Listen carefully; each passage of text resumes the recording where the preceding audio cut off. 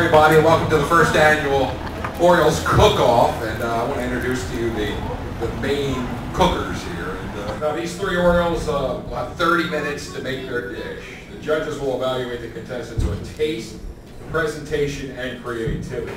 And how about this? The end result is the winner, the meal will be placed on the ESPN Zone's menu. Oh my gosh, that's great. Can you do the Orioles cheer? Oh, love it. what are you making today? Chicken enchiladas. Who was the one that taught you how to cook it? I taught myself how to do Those skills come in handy. Yes, yes, especially when you spent your whole career east of the Mississippi where they don't have any good Mexican food. So true. I was in California for a while. We do not have good Mexican food in Baltimore. It's very unfortunate. It is, And- especially since it's a staple in my diet when I was growing up. Me too. I used to love those burritos from San Diego.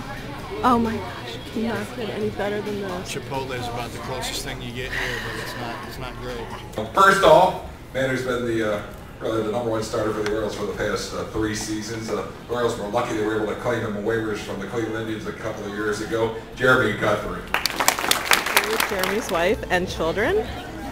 They're here to root him on. what words of encouragement can you say? Oh, words of encouragement. He's a pro at this. He cooks all off season this dish with a couple of other friends who have been to Spain numerous times as well. So this is something that he thoroughly enjoys. What's some of her, what, what are some of his favorite dishes? Well, he's cooking the Spanish tortilla. It's kind of a potato and egg souffle. Um, he loves all the meats from Spain. I would say if he could choose to eat anything, it would be Spanish authentic dishes. Now he lived in Spain for a while, didn't he? Were He you did. married? He was there for two years. We've been back, I think, three times since he got home in um, 2000. But he just he loves it. Any anywhere he goes, he he really tries to get the full gamut of the experience. So Tell me, is he the one that does the dishes or the cooking at home? dishes, and he's really good.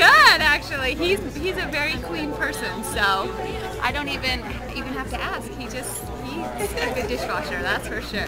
Next up, a man who's been the Orioles leadoff hitter for probably, I guess, six years now, and will be around for a lot more years. In fact, four more beyond this for sure. The Orioles second baseman, Brian Roberts. We like to eat at home. Um, the one thing, if I was to open a restaurant, I'd probably do a breakfast place, something that serve breakfast all day. We love breakfast. And, uh, we sample Blue Moon pretty much every day of the week. Blue Moon. The next man, he's been here since I think 8 o'clock this morning preparing. From what I've been told. Very competitive about this. Uh, the Orioles catcher, Gregg Zaun. Z-Man. That's me. I thought so. You're the one that has the career in sports broadcasting, I hear. Imagine so. She's been doing it for like three years. How, how's it going with the Orioles this year, just between you and I? How is it between you and I if you're recording it? What was it like growing up as the nephew of Rick Dempsey, one of the all-time Baltimore Oriole favorites? It's fun. I didn't. I never really thought about it. I was so you know removed from it in Baltimore or living out in California. So I always thought, thought it was a, a nice thing. Glendale, was it? Yeah. I was in Glendale, though. They have this great outdoor mall with a chandelier hanging overhead. when was the last time you were there? Yeah, I haven't been shopping there in well over a decade. You have to get back.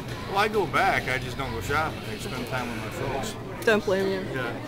Well, we're rooting for you. Thank you. Good Thank luck you in the very much. competition. Thank you. Young man here would like to ask a question. Jeremy, what's your favorite pitch? Um, probably my fastball. Um, I really enjoy throwing the changeup as well, but uh, ultimately, if the fastball is, is moving and it's down and it's located, um, that will give me the greatest success and make baseball more fun for me. I want to ask Rob a question, who's been the food critic for the Sun since I, I can remember many, many years.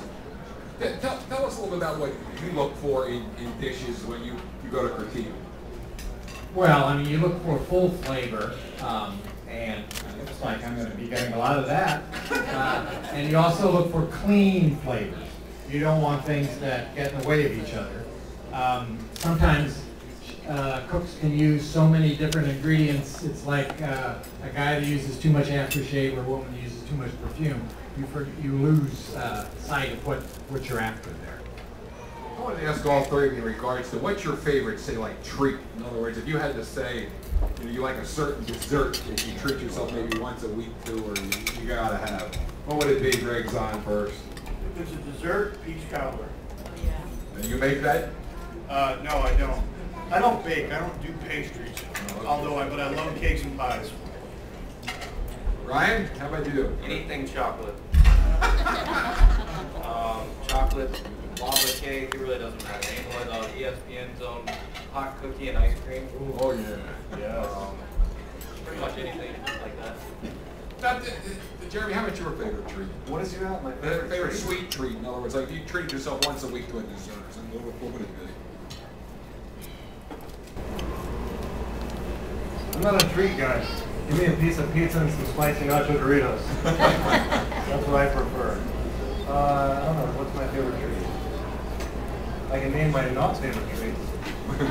Which jar? Ones that make pans really hard to wash when I gotta do the dishes. Now, how about uh, as players? Do you ever say like in between innings, run in a, a clubhouse or something, grab a candy bar, or anything like that while you're while, while you're in the game? Markakis last night about the fifth inning told me the Snickers he was eating was really good. No lie. Well, say it a little bit louder. Your mic wasn't. Uh, I said Nick Markakis last night about the fifth inning told me he was eating a Snickers as he was speaking. So apparently we do. Most people don't eat Snickers though, but Nick's a little different. So. Yeah, that's a question. I've got a question for you. This is my son. He's a 12-year-old. He's just an all-star for TCYL. He plays shortstop second base.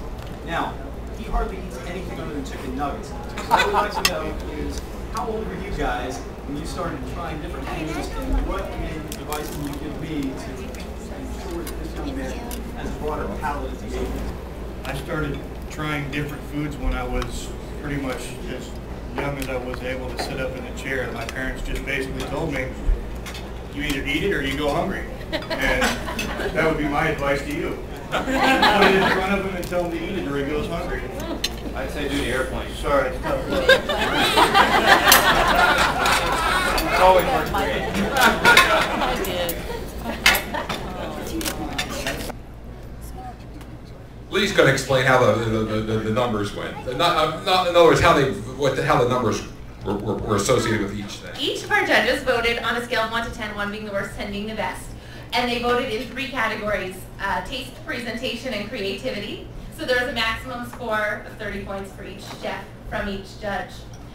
And it came down to a very close score. As we said, the winner's menu item will appear on ESPN Zone's menu. The winner will also get this lovely plaque identifying him as the ESPN Zone's Baltimore Orioles cook-off champion. Your nice orange black spatula.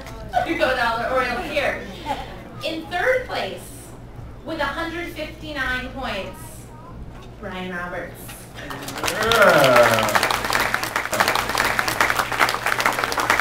With 168 points, Gregg Zaun. He was preparing for a month for this, folks. Great song with the bird. Let's hear it for him. Extremely proud of this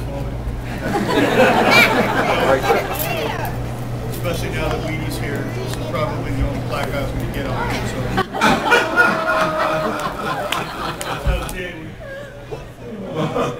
Thank you, ESPN. I will cherish it. Way to go, Gregg Zaun. We thank Brian Roberts and Jeremy Guthrie for their hard work. Cilantro lime fish tacos.